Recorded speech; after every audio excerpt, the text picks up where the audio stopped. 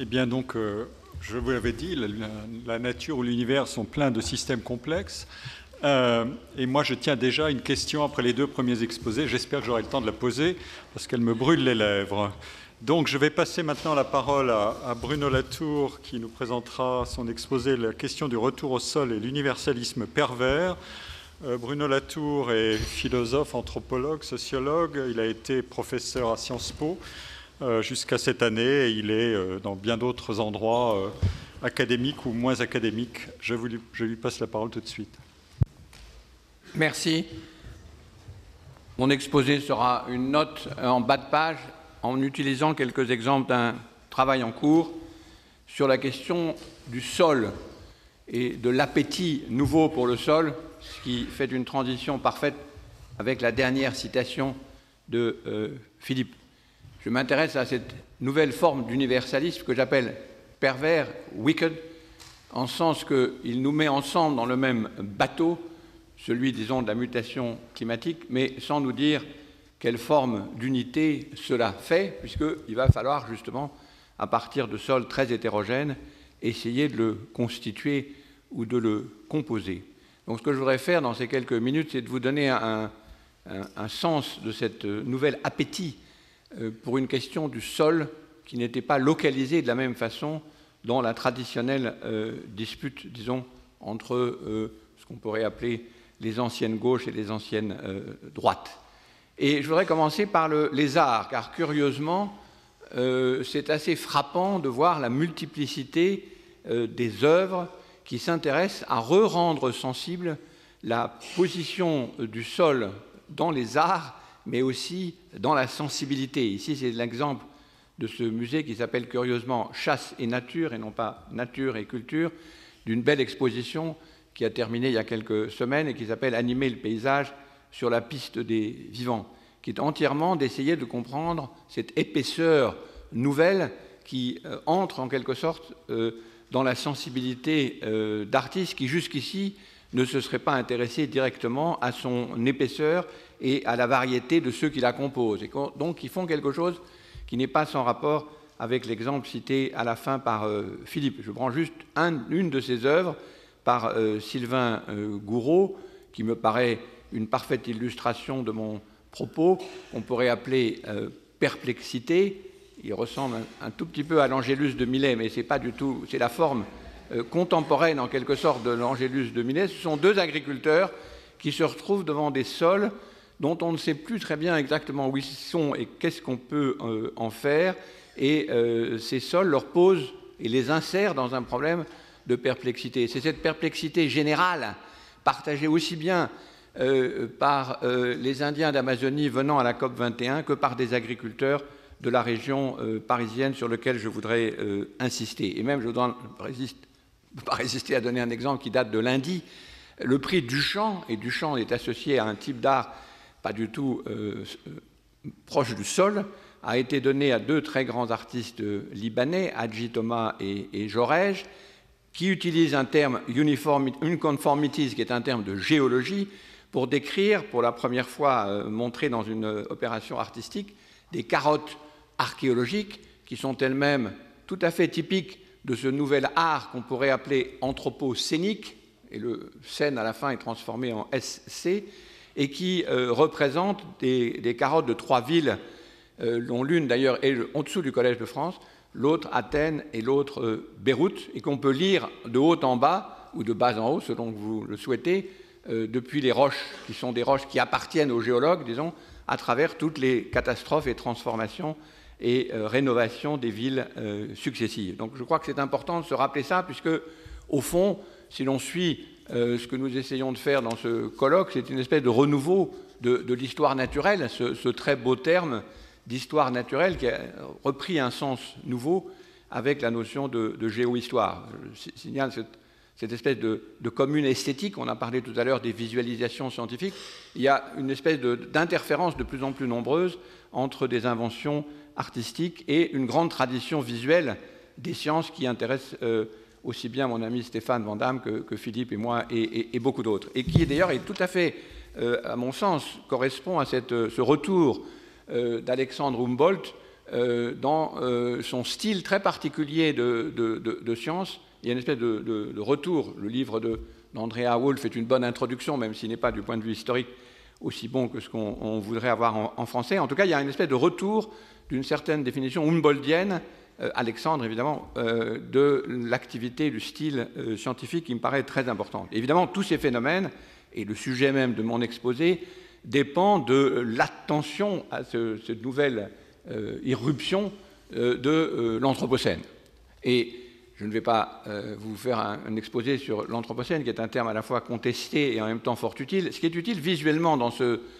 dessin, c'est simplement de montrer pourquoi les disciplines qui se sont distinguées, comme l'a rappelé Philippe et comme l'a rappelé euh, Stéphane euh, au moment de la révolution scientifique, ont, de la peine à maintenir cette séparation, puisque l'objet commun qui les attire toutes est ce nouveau paysage, paysage qui pour certains euh, d'entre nous ressemble un peu à ce qu'on avait dans un, un livre de géographie, à cette différence près qu'il serait complètement impossible de séparer dans cette image ce qui dépend de la géographie humaine et de la géographie physique, et qui intègre beaucoup des éléments euh, traditionnels de euh, la géographie, c'est-à-dire les villes, les usines, la répartition spatiale, mais qui descend beaucoup plus bas dans la mer, dans la terre, et évidemment monte beaucoup plus haut dans l'atmosphère et à des échelles de temps qui sont extraordinairement euh, différentes et qui introduisent à ce terme mis à la fois dans la philosophie et dans l'anthropologie par euh, Dipesh euh, Chakrabarti et qu'on appelle la euh, géohistoire. Il y a donc une espèce de modification générale de l'objet des disciplines. Les disciplines ne sont pas, comme on le sait bien, tous les scientifiques ici le savent, ne se lient pas entre elles par intérêt ou amitié les unes pour les autres, mais parce que l'objet commun les y oblige. Et je pense que c'est ça qui est en train de, s'opérer. Ce qui est très intéressant dans la notion l'Anthropocène, même si elle est disputée, c'est l'enregistrement, en quelque sorte, de l'hétérogénéité formidable de ce qui précisément définit les disciplines dont je vais euh, parler dans une minute. L'Anthropocène, il y a mille définitions, il y a une dispute aussi sur la date. Euh, ce qui est intéressant de le définir, c'est par l'hétérogénéité, tout simplement, euh, des, produits chimiques, de sa, géochimie, qui permet de repérer, voilà le dernier article euh, dans, Science qui faisait le point sur le débat concernant est-ce qu'il est nécessaire ou non d'appeler la période euh, anthropocène et de lui donner un nom propre par opposition à la période ou à l'époque classique qui est celle de l'Holocène, donc les 12 000 dernières années. Et ce qui est intéressant dans, euh, cet article, c'est évidemment d'insister constamment non pas sur la dimension, il s'agira de toute façon pour les géologues ou les sédimentologues qui utilisent cette euh, ressource de l'Anthropocène d'une minuscule, euh, d'un minuscule euh, sédiment, mais c'est son extraordinaire hétérogénéité chimique. Et c'est ça qui est la, particularité, c'est de toutes ces nouvelles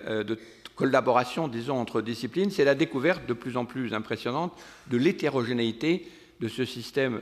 complexe, puisqu'on en a parlé tout à l'heure de ces systèmes complexes qui sont liés à la notion de, de nouveaux territoires. Ce qui est intéressant aussi, c'est que se croise une transformation très profonde des relations de ces disciplines scientifiques avec une transformation dont certains sont représentés ici dans cette salle, de la nature même de l'objet anthropologique.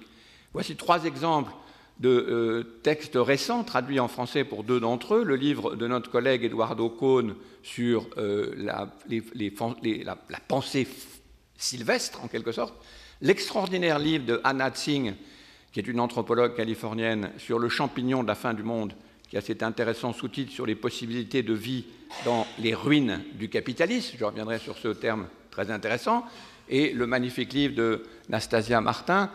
euh, qui a fait sa thèse d'ailleurs avec euh, Philippe, sur les âmes sauvages, sur les peuples d'Alaska. C'est très intéressant de voir la multiplicité de ces nouveaux objets qui font au fond un travail de composition qui ressemble un peu à l'appel euh, final du texte de Philippe aujourd'hui, c'est-à-dire apprenons à recomposer la nature même des êtres avec lesquels nous composons nos collectifs à partir d'entrées qui n'ont plus rigoureusement rien à voir avec la différence objet-sujet qui a si longtemps occupé euh, l'anthropologie. Quelques autres exemples, même de choses plus populaires. Il est quand même extraordinaire de lire un livre d'Emmanuel Coccia à l'école des études philosophes des plantes On n'aurait jamais osé faire une philosophie des plantes il y a encore 20 ans. Le, magnifique livre de Timothy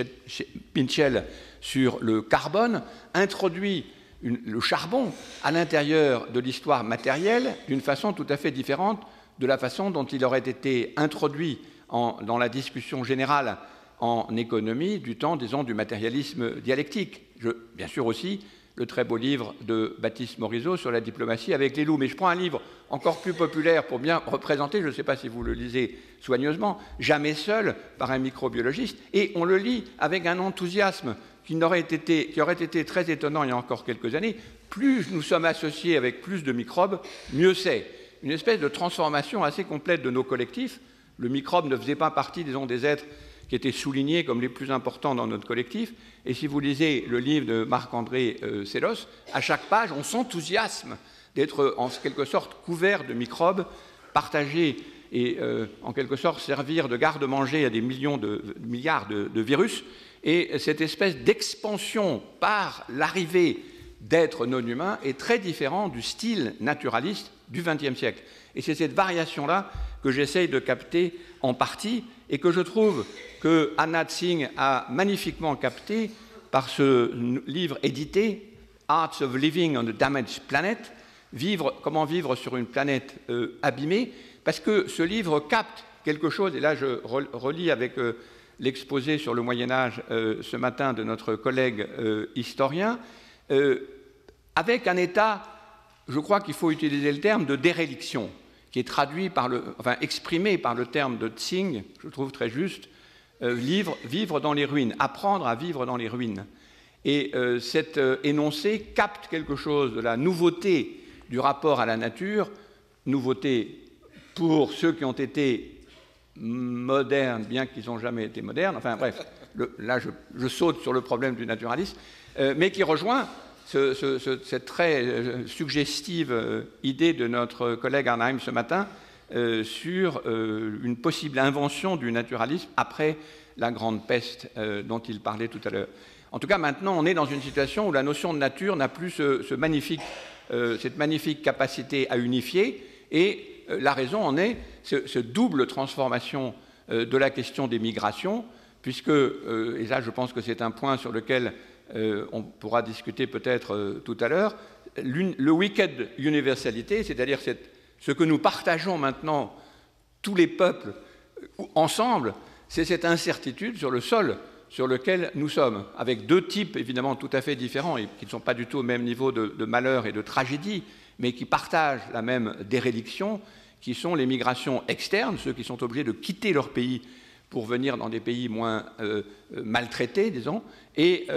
l'autre, la migration interne, en quelque sorte, si on peut utiliser ce terme, de gens qui sentent que la définition même du territoire sur lequel et auquel ils étaient euh, attachés est en train, disons, de, disparaître. Et c'est cette variation-là qui m'intéresse, puisque, au fond, tout ce qui nous intéressait dans la question écologique, et beaucoup d'entre nous ici ont commencé dans toutes ces questions par la question euh, écologique, c'est la différence entre contempler un paysage, et ça c'est un travail que Philippe a fait pendant de nombreuses années dans son séminaire sur le paysage, et défendre un territoire. Si je vous pose la question et si je vous demande, il faut défendre la nature, il faut respecter la nature, oui, vous me direz, bien sûr, monsieur Latour, oui, oui, oui. Mais si je vous dis défendre un territoire, alors là, vous vous mettez à mobiliser. La grande transformation qui est en train de se passer dans toutes les questions écologiques, c'est qu'elle passe de l'extérieur qu'on contemple au-dessous le territoire. Et les affects politiques qui sont associés aux deux termes changent évidemment complètement. L'écologie n'est plus quelque chose qui s'occupe de la nature paysage, elle devient quelque chose qui est le territoire existentiel dont tout dépend, ce qui ne veut pas dire qu'on le défend avec euh, des, mitraillettes. Mais en même temps, nous savons bien, et là on ne peut pas ne pas en parler quand on parle de la question de dérédiction de la question de la nature et du sol, c'est que nous sommes aussi dans une situation géopolitique qui est quand même assez tendue et compliquée. Vous avez là une belle illustration du Spiegel au moment du retrait par euh, monsieur, enfin on ne va pas prononcer son nom, du, président des États-Unis euh, de l'accord de Paris, et le titre est sans équivoque Das Ende der Welt. Mais je ne vais pas parler en général de cette question parce que ce qui m'intéresse en tant qu'ethnographe des, des, sciences, c'est de prendre un exemple, euh, un exemple justement de toute cette situation dont parlait Philippe, où se négocie en détail la question du rapport et de la composition des, collectifs. Juste un petit exemple d'un travail euh, récent, un colloque à Nantes,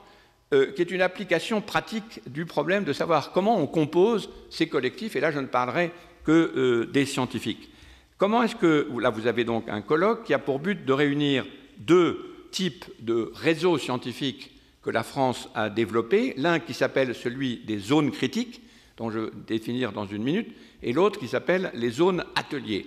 La différence, et là nous sommes bien en France dans des institutions qui organisent cette longue histoire du grand partage, il y a un réseau zone critique qui est plutôt géomorphologie, biogéologie, etc., et un autre qui s'occupe zone critique qui est plutôt animaux, organismes et humains. Et j'ai assisté à une cérémonie un peu comme le camp du drap d'or, une espèce de diplomatie scientifique entre deux scientifiques, deux têtes de réseaux scientifiques, Jérôme Gaillardet de l'IPGP, donc plutôt géomorphologie, géologie et euh, géochimie, et de l'autre côté euh, Vincent Bretagnol, éthologue et responsable de la zone atelier. Donc voilà, si on veut discuter du rapport nature-culture, un assez bel exemple, comment deux disciplines, enfin deux réseaux de dizaines de disciplines et deux réseaux scientifiques parviennent à discuter et à essayer de composer de combien de difficultés et d'hétérogénéité est faite l'association pratique sur un sol euh, quelconque. Et donc on a, c'est le genre d'exemple qui m'intéresse parce que, évidemment, Philippe a raison, euh, le grand partage et la grande division nature-culture, elle est simultanément présente, vous voyez dans ce schéma qui servait à organiser le rapport diplomatique de ces deux camps, si je peux dire, de ces deux amis, mais deux amis qui sont en, comme toujours, un ami collègue en liaison et en compétition, on voit bien, on reconnaît parfaitement l'opposition classique entre d'un côté euh, l'organisation des modèles sociaux et de là le, template, biophysical template, qui organise. Donc on a évidemment dans une longue dispute avec Philippe pour savoir si oui ou non on a été naturaliste. On ne peut pas nier que ce format est utilisé partout. Mais évidemment, tout se passe dans ce cercle au milieu, et au, fur et à mesure de la discussion diplomatique, tout le monde reconnaissait que chacun des éléments qui se trouvent là, les agriculteurs, les ONG, oui, d'accord, ça c'est du social, mais le problème c'est qu'on les faisait tourner au cours des trois jours de la conférence à l'intérieur de ce cercle jaune qui avait un peu l'aspect d'un vortex et à l'intérieur duquel finalement chacun essayait de se euh, repérer. Et ça c'est un assez bon exemple de la difficulté même à constituer le rapport de composition non plus du tout au début on commence en dire oui c'est du social, est-ce que c'est du social, est-ce que c'est plutôt du biologique, est-ce que c'est plutôt de l'éthologique, etc. Et puis évidemment la, négociation s'affine, devient plus intéressante et on oublie, enfin on oublie pas tout à fait, il y a ça en arrière-fond, le euh, schéma, ce qui permet de situer d'ailleurs la nature euh, du schéma euh, nature-culture du point de vue opérationnel. Et ce qui m'intéresse évidemment, c'est d'aller voir du côté euh, des sciences dites euh, naturelles cette variation très intéressante de ceux qui s'appellent euh, zones critiques. Donc c'est de ça dont je voudrais vous parler dans les dix minutes qui me, restent. La notion de zone critique, c'est une série de scientifiques qui réalisent que finalement, ce qu'ils étudient, ils viennent de l'hydrologie, de la biologie, de la géochimie, c'est à la taille d'un film à l'échelle de la planète, même pas d'un vernis, d'une peau. C'est quelque chose de tout à fait minuscule que Alexandra Arène a essayé de repérer ici, c'est une toute petite surface, une toute petite, et ça ne concerne pas du tout le reste du globe. Quand on parle de science de la Terre, surtout à l'IPGP qui est à côté d'ici, on parle de ce qui se passe à l'intérieur de la Terre. Mais les scientifiques qui s'appellent zone critique, que j'appelle critical zoniste, ils étudient cette minuscule pellicule, ce, qu'on pourrait presque appeler un, biofilm, à l'intérieur duquel ils essayent euh, qu'ils essayent d'opérationnaliser et d'expérimenter. Et donc là, c'est très intéressant pour la question qui reste toujours un peu abstraite de savoir comment la nature intervient à l'intérieur des sciences dites naturelles, parce qu'en fait, l'extraordinaire difficulté consiste à simplement définir le nombre de phénomènes qui euh, se passent dans un, par exemple ici, un petit bout de bassin versant que vous voyez équipé ici, ce sont toujours les illustrations de ma collègue Alexandra Arène avec lequel je travaille, et chacune de ces disciplines ici, ça demande des efforts diplomatiques depuis des années à Jérôme Gaillardet et à ses collègues pour simplement les faire converger sur ce que c'est qu'un bassin versant. Donc le problème de la nature ou des sciences naturelles, évidemment, il n'a pas de, réalité euh, concrète, puisque la composition est d'autant plus difficile qu'elle dépend de la variété des instruments. Alexandra ici commence à faire l'inventaire des différents instruments. Chaque instrument est lui-même évidemment un paradigme scientifique complet, nous le savons depuis Bachelard, la phénoménotechnique. Chaque instrument a une façon tout à fait à part de construire euh, l'unité, en quelque sorte, simplement d'un bassin versant dont l'hétérogénéité stupéfie chaque fois les scientifiques qui s'y euh, rassemblent, comment composer simplement l'eau et le sol, et ensuite d'arriver à y mettre des micro-organismes, et ensuite à y mettre euh, des roches profondes. Chaque fois, c'est une diplomatie scientifique tout à fait passionnante à étudier, mais qui a l'avantage de visualiser l'extraordinaire difficulté de la composition. Et ce qui m'intéresse, et ça c'est en relation directe avec la conversation de, ce matin, c'est que le statut épistémologique de ces disciplines, qui sont donc, on pourrait dire, des disciplines de surface,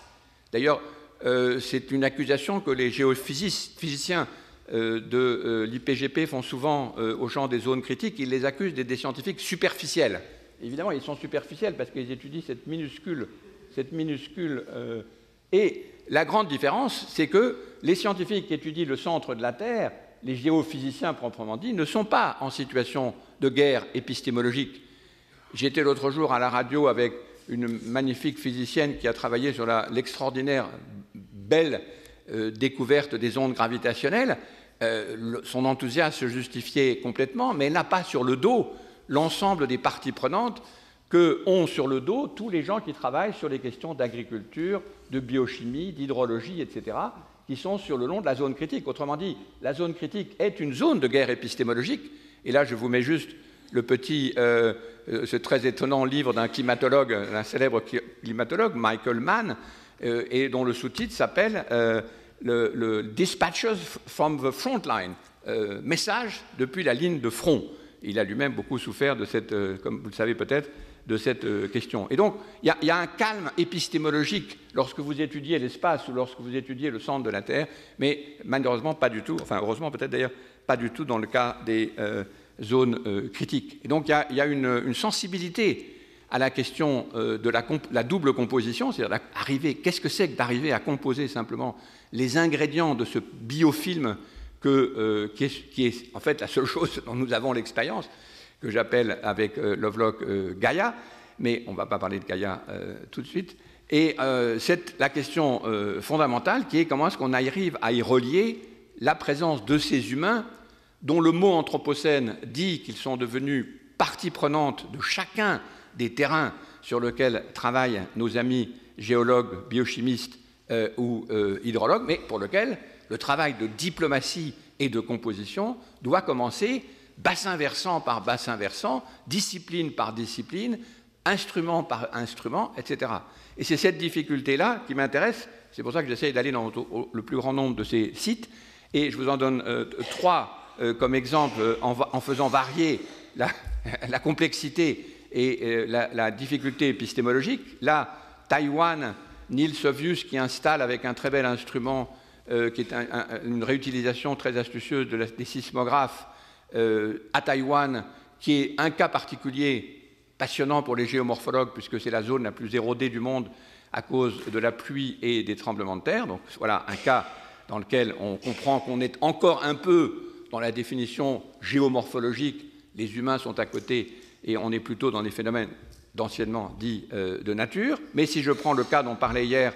euh, David Western de ce qu'il fait en Boncelli, c'est-à-dire d'arriver à constituer une situation où il y a autant de protection du parc en dehors du parc qu'à l'intérieur du parc, là on voit bien que déjà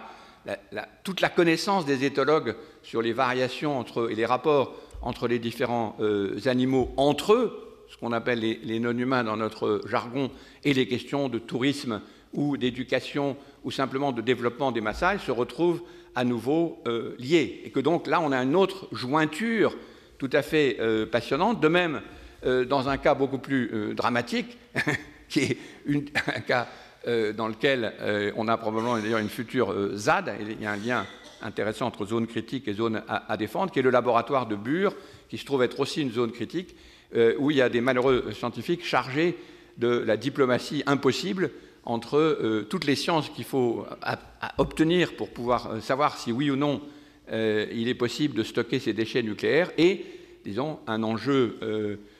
politico-médiatique énorme. Et ça, c'est ça, vivre au milieu des conflits de, composition, c'est devenu maintenant la règle pour les scientifiques qui travaillent sur ces questions. Donc voilà, mon argument est assez simple. Je ne vais pas passer sur ce transparent qui d'ailleurs ne doit pas être lisible d'ici. Mais si maintenant on prend la question dans l'autre bout, c'est-à-dire pour tous ces scientifiques, quelle est la forme de l'humain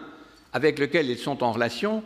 Ça, c'est juste quelques énoncés des différents exposés dans ce colloque de Nantes. On passe d'éléments complètement abstraits, l'humain est là, mais c'est forçage anthropique, donc c'est très vague, à la définition probablement la plus précise qu'on ait eue à la fin, euh, qui est celle euh, d'ailleurs de, de, Bretignolles dans sa zone aquitaine, très impliqué.